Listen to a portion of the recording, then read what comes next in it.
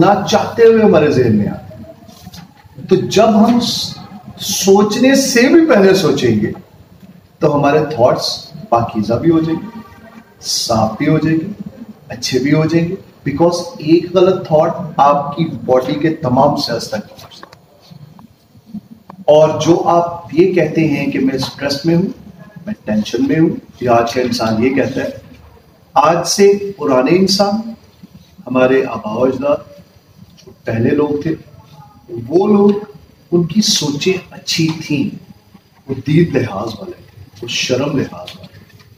उस वक्त मेहमान नवाजी बहुत ज़्यादा थी। तो आज का इंसान, हमने अपने आप को कैद कर लिया मोबाइल के इसलिए जब हम अपने थॉट्स के ऊपर वर्किंग करेंगे तो हमारी टेंशन टेंशन ही रहेगी, हमारा डिप्रेशन डिप्रेशन ही रहेगा। लोग हमें अच्छा समझेंगे।